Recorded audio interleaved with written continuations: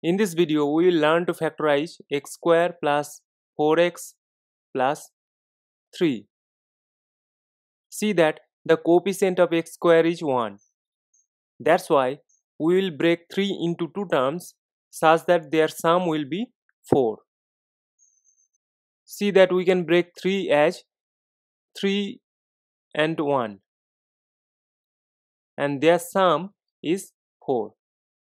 So we can write this expression as x square plus 4 can be written as 3 plus 1 times x plus 3.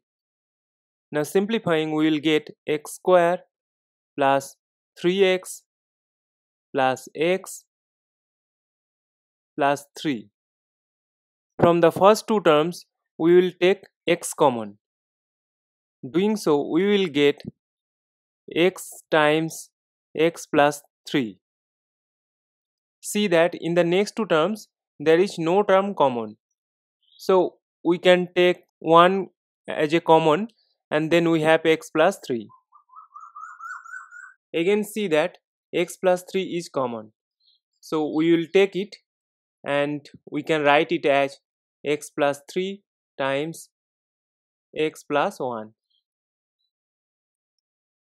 and this is the desired factorization of the given expression. And this is our final answer